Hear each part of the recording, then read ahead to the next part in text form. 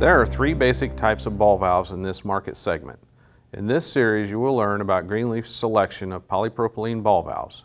But before we get into the actual customer interaction, there is terminology you may need to know to better prepare you in answering the tough questions.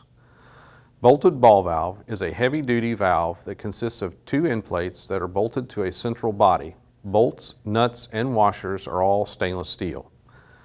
Single union valve is a valve that has one end that can be unscrewed.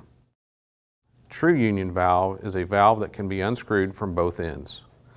Full port refers to when the hole in the ball is the full size listed. For example, the V200FP is a 2-inch full port ball valve.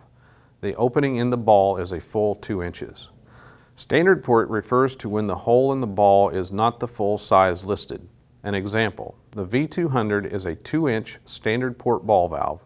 The opening in the ball is actually an inch and a half.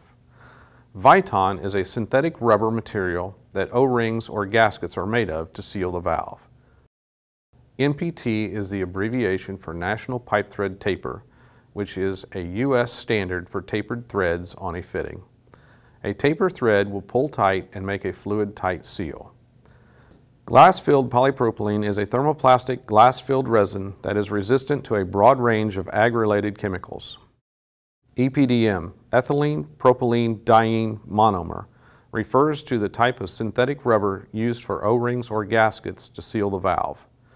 Now that you know the terms, you are ready to watch the next video that will help you connect your customer to the right option for their needs.